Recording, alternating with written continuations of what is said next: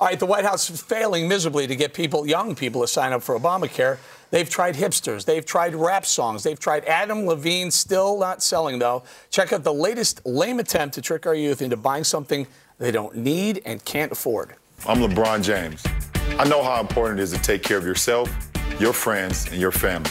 That's why I want to tell you about the health insurance marketplace at healthcare.gov. You can go there to find an affordable health plan as part of the healthcare law. The deadline to enroll is March 31st, so sign up now. You never know when you might take a hit. Spread the word and get covered today. All right, Greg, you want to kick this? By the uh, way, it's got to cost a lot to hire LeBron James to do this. Right? I I think he probably did it for You free. think so? Yeah. Sure. I think. Hello. But, but never has been something sold so hard. This is the arch deluxe of boondoggles. And you know what it is? What's driving me nuts? It's the how. This is how they try to win. They have to enlist the cool kids, the hip people, to apply peer pressure on the rest of the kids in class. Like if you don't do this, if you don't get into Obamacare, if you didn't vote for Obama, you're just not cool. So that's why they rely on celebrities to sell basically. A, a pretty bad thing because if you have to sell something this hard, that means it ain't any good. No, Dick, Mm, I feel like Greg is always looking off of my notes because Well, that was I my see him reading them. I wrote is that good a good my product God. sells itself. Every week, it's like we could have another story about how more celebrities are being brought in to affect the change that they need by March 31st. Perfectly good commercial, compelling. I'd watch it. I like the music. It's cute.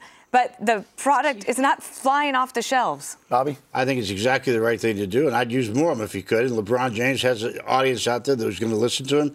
The fact is that after he did Between the Palms, whatever that thing is called, uh, Burns.